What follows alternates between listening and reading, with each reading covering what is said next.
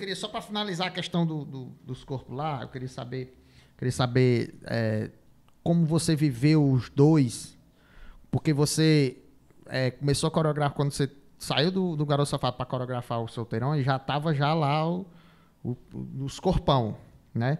Eu queria saber é, de tu, o que é que tu acha, o que é que tu acha tu viveu, tu viveu os dois, essa exigência do mercado que se criou e as, as meninas fazendo, entrando para faca mesmo, né? E, e, por, por causa dessa exigência, e você via, você via porque você, você trabalhava com todas. Tu, o que é que tu, tu, o que é que tu tem para dizer assim? É, não sei nem como é que eu, que eu, vou perguntar isso aqui.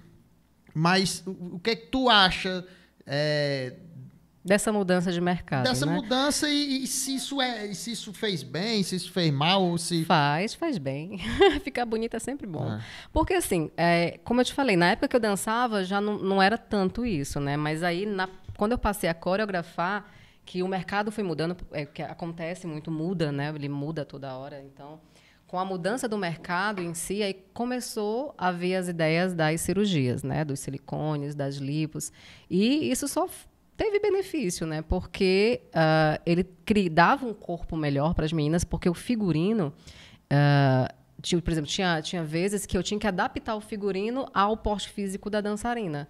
Né? Porque eu sabia que se eu colocasse alguma coisa que fosse mostrar uma imperfeição que para ela era desagradável, ela ia dançar uh, receiosa, é, né? Tinha, não, tinha, ela não ia estar à vontade. É, tinha muitos que não, não podia colocar, mostrar essa barriga, né? Tipo, Alguma, alguma roupa que mostrasse a barriga, Isso. não, não podia, porque. Aí eu já tinha esse cuidado com o figurino das meninas, quando eu pegava uma que tinha mais peso, ou que estava um pouquinho fora de forma, aquela coisa toda, para que a gente adaptasse o figurino com o quadro que eu tinha, com o perfil que eu tinha, para não dar essa, essa, esse mal-estar para as meninas. É aí, que eu, é aí que eu quero fazer outra pergunta. Você, você interferia nessa questão, você como coreógrafo, você dizer assim, ó, oh, você está precisando perder uns quilinhos aqui, ou você precisa estar para fazer academia, ou você poderia botar um silicone. Você, como coreógrafo, você dava pau... Sempre. Até porque eu, ti, porque eu já você tá tinha... dizendo que, que você ia mexer no, no, no figurino para não poder... Assim, eu já tinha essa crítica comigo mesmo, né? Eu era muito realista. Eu olhava e eu via que eu não era o perfil.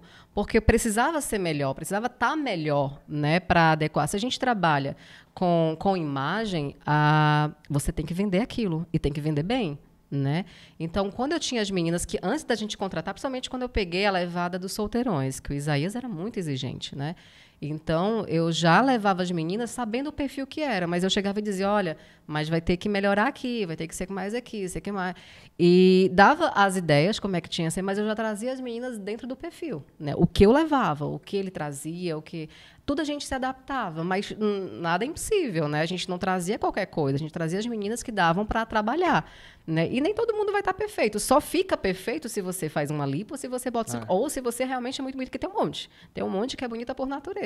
Mas uma precisava dessa adaptação. Como a gente não vivia essa adaptação ainda, então eu tinha que adaptar de alguma forma. A menina tinha um rosto lindo, uma perna linda, mas não tinha cinturinha fina. Aí eu não vou ficar com ela e dança pra caramba. Não, vou adaptar uma roupinha que não desvalorize, né? que, que não seja ruim para ela, porque quando você mostra algo que a pessoa não gosta, porque todo mundo tem a sua consciência, né? ela não vai se sentir bem no palco. Então eu fazia isso, Ei. eu trabalhava para ficar bem. E as que estavam lá, tudo cinturinha, tudo trabalhando, levantando peso, querendo mostrar a barriga, querendo mostrar as pernonas, e tu fazia um figurino por causa de uma que não estava igual às outras. As não, outras mas aí eu, eu, eu, mudava, né? Tipo assim, a gente fazia. Uh, dá para adaptar para cada corpo. Né? Tipo, uma, a, o shortinho ficava mais em cima porque ela já não tinha tanta cinturinha, mas a outra que tinha descia mais o short. Cada um valoriza o que tem, né? É. Se a minha perna é grossa, eu vou subir mais um pouquinho aqui. Nada que modificasse o figurino, mas cada um adapta dentro da sua estrutura física, né?